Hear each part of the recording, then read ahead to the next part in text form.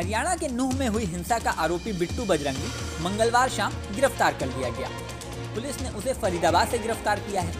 बिट्टू बजरंगी की गिरफ्तारी की जितनी चर्चा हो रही है, उससे ज़्यादा चर्चा उसे गिरफ़्तार करने के तरीके की हो रही है।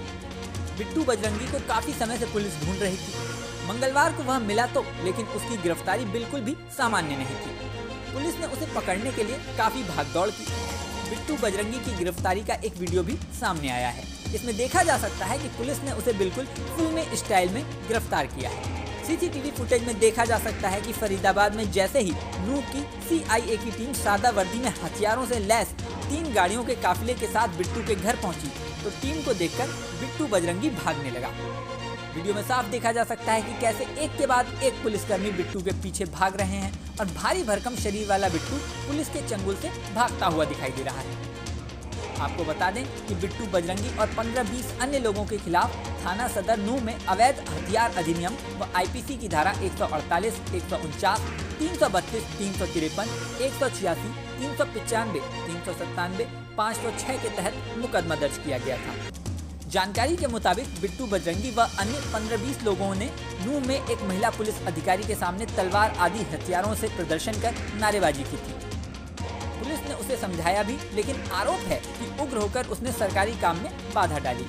पुलिस के पास उसकी जितनी भी वीडियो हैं, उसके आधार पर बिट्टू बजरंगी के साथियों की पहचान कर चिन्हित किया जा रहा है। बता दें कि हरियाणा के नूह में हिंदू संगठनों की ओर से हर साल ब्रिज मंडल यात्रा निकाली जाती है। इस बार भी हर साल की तरह 31 जुलाई को ब्रिज मंडल यात्रा निकालने का ऐलान किया गया था। प्रशासन से इसकी इजाज़त भी ली गई थी, लेकिन ब्रिजमंडल यात्रा के दौरान इस पर पथराव व गोलीबारी हो गई। देखते ही देखते यह दो समुदायों की हिंसा में बदल गई। माहौल इतना गर्मा गया कि सैकड़ों कारों को आग लगा दी गई।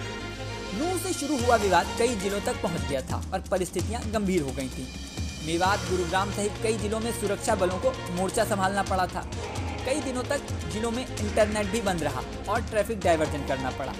नू मामले में अभी तक हुई कार्रवाई की बात करें तो इस मामले में अभी तक 160 एफआईआर दर्ज की जा चुकी हैं। वहीं 360 से ज़्यादा लोग गिरफ़्तार किए जा चुके हैं। हरियाणा सरकार ने अवैध संपत्तियों को ध्वस्त करने की भी कार्रवाई इस घटना के बाद शुरू की थी।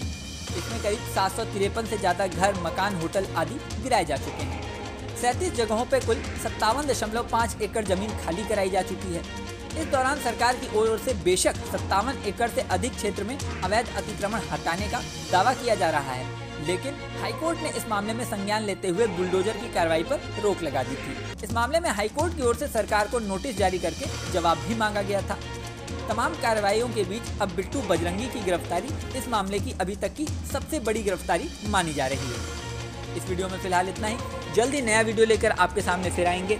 हमारा ये वीडियो आपको कैसा लगा ये कमेंट बॉक्स में ज़रूर बताएँ। और हाँ जाने से पहले सबसे ज़रूरी बात, हमारे चैनल न्यूज़ नेशन को अगर आपने सब्सक्राइब नहीं किया तो सब्सक्राइब कर लें।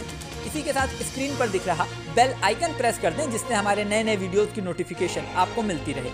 मिलते हैं नेक्स्ट वीडियो में, बने रहें न्यूज़ नेशन के साथ।